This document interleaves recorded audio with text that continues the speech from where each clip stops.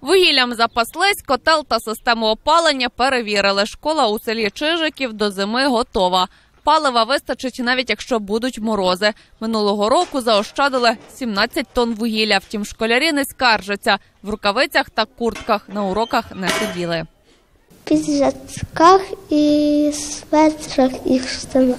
У цій школі, як і в усьому пустомитівському районі, канікули розпочнуться не швидше грудня. Остаточної дати поки що не знають. Все залежатиме від погоди. Якщо буде грудень теплий, то мабуть ми будемо відпочивати січень і частину лютого. Ну але будемо бачити, як буде. Сусідньому селі Миклашів від погоди не дуже залежать. На енергоресурсах вже навчилися заощаджувати.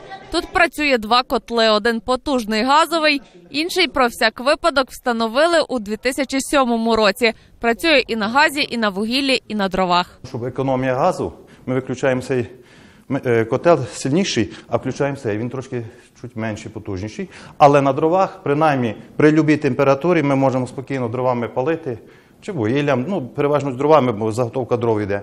То ми можемо спокійно цілу зиму, ну не цілу зиму, але деякий період часу опалювати і підтримувати належну температуру. Восени тут також не відпочиватимуть, та школярі не надто й переймаються. Вже вигадують, як проведуть довгі зимові канікули. Сніжки бавитись, е, е, з сестричкою бавитися. По всьому селі тут є багато гірок, можна довго кататися, куди хочеш, На чому? на лижах. На коньках кататися, на санях, на лижах. Ну, я маю лижі, я буду в зимі кататися. А я буду на санках.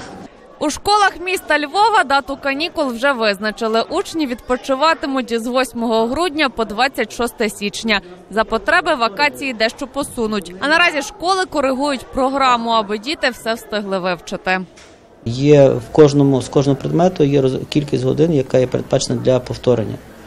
І відповідно вже під кінець року цих годин, звичайно, що буде менше, вони будуть скориговані. Ну але є матеріали, які були розтягнуті, наприклад, в часі по годинах. Тому ці години були скориговані для вивчення предметів.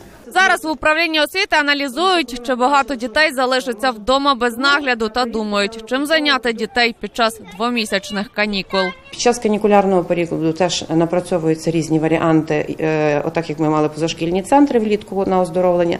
Ми такі центри е, плануємо зробити, щоб це були залучені бібліотеки, позашкільні заклади, музичні наші школи, тобто е, залучивши інші навчальні заклади, якщо в школах не буде можливості перебувати.